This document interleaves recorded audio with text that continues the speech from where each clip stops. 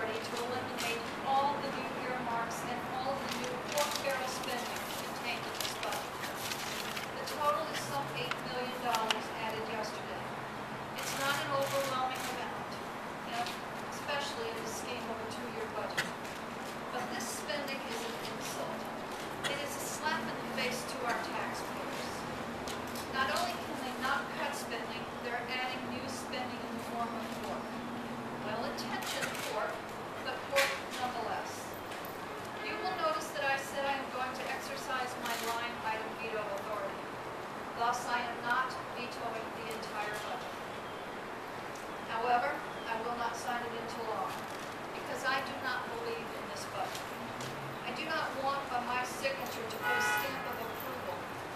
One, on their spending, two, on their inability to make cuts, or three, on their levels of borrowing, revenues, or taxes.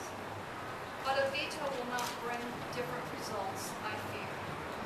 Therefore, this budget will take effect in five days without my signature, according to the state constitution.